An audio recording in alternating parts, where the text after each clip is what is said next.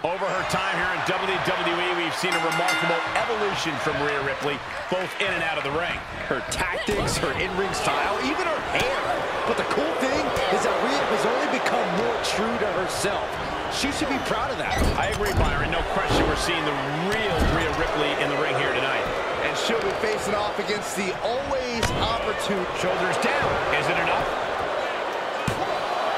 No, caught him off guard going for it at this point. Ah, Unable to counter. Into the corner now. Running hip attack. What impact. I've noticed Rhea Ripley likes to get right down to business in the ring. How do you compete against someone who likes to come out swinging and control the tempo of the match? Well, you have to come out swinging just as hard, if not lift off. Splash! Looking for an early pin. And she kicks out. Too early the match to end it. Carmella gets waylaid. Oh, wow. This is impressive. This is crazy strength. Crashing down with a vertical suplex.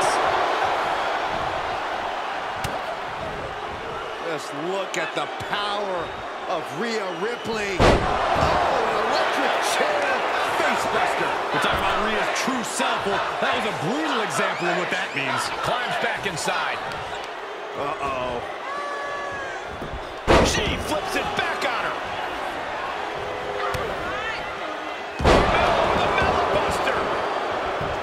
Off into the pin. Two. And she kicks out at two. Close call. That was almost lights out.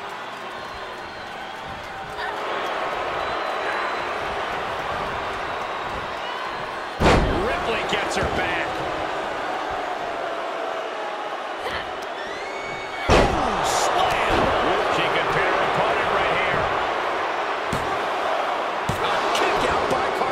If she keeps the pressure on, the next one might do it.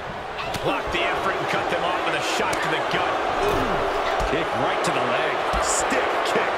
But what a kick. Look at her stumble back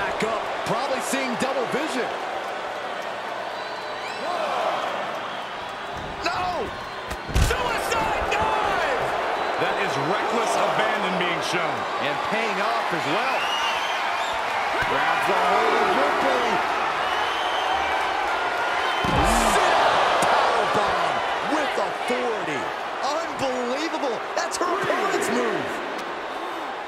We knew we were in for something special between these competitors, but they are taking things over their own limits.